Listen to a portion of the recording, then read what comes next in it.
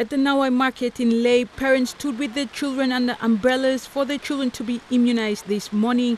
Since yesterday, nearly 600 children have been vaccinated. The target is 1,200.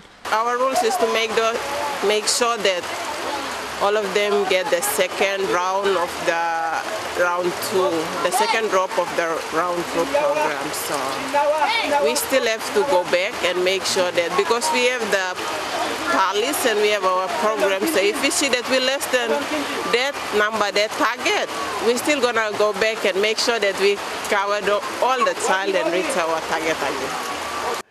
Uh, two weeks. According to Morobe's health advisor Micah Yawing, there has only been one confirmed polio case in the province and three suspected cases.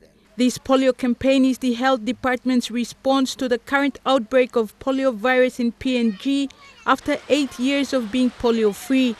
The first round was held from 16 July to 3 August.